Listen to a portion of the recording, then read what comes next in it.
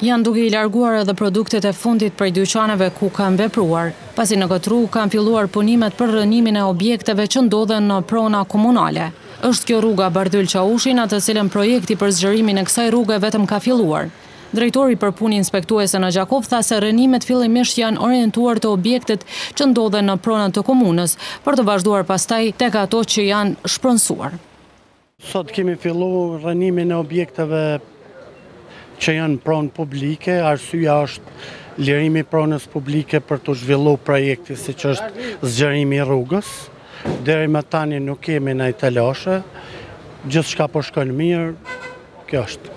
A ka pas rezistencë prej qytetarëve në këtë pjesë? Jo, deri tash nuk ka pas, dy lokale poshtë Po rezistojnë, po besoj që edhe ata me kohë do të binden që nuk ka kërkush personale me ta, mirëpo është projekti, është prona publike edhe jemi të detyru me zbatu ligjin.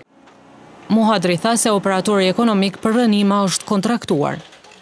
Kemi kontraktu kompaninë, e ka nënshkru kontratën, ka marrë urdhëresë dhe sot po vazhdojnë. Nga kjo drejtori, u tha se aksione të tilla do të ketë edhe më tutje.